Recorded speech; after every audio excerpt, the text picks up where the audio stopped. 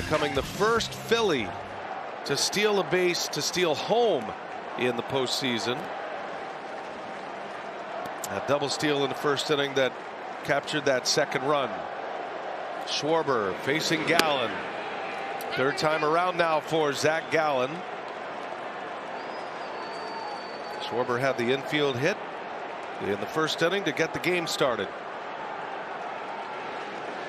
Gallen has settled in. He's retired 11 straight. High drive, way back, right field. Schwarber does it again. An absolute bomb out of here. Kyle Schwarber, his fifth home run of this championship series. Makes it three to nothing Phillies.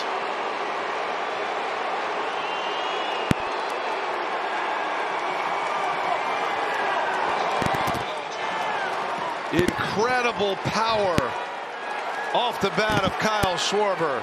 Remember we said he was born to hit bombs? 114 off the bat. Gallen misses against Turner. 461 feet. Wow, I mean, that is in the divot free zone, to use a golf term. Schwarber, most home runs in NLCS history now with 11. He's already posted the most homers by a lefty in the postseason. He passed Reggie Jackson with a home run yesterday. His fifth of this NLCS. It is the farthest home run of the 2023 postseason. Turner on the ground.